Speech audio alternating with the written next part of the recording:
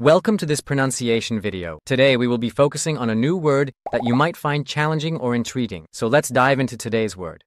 Заказать, which means Order in Russian. let's say it all together. Заказать. Заказать. Заказать. One more time. Заказать. Заказать. Заказать. Thank you for joining us on this adventure in pronunciation. Remember, language is a journey, not a destination. Keep exploring, experimenting, and expanding your linguistic horizons. We'll see you next time.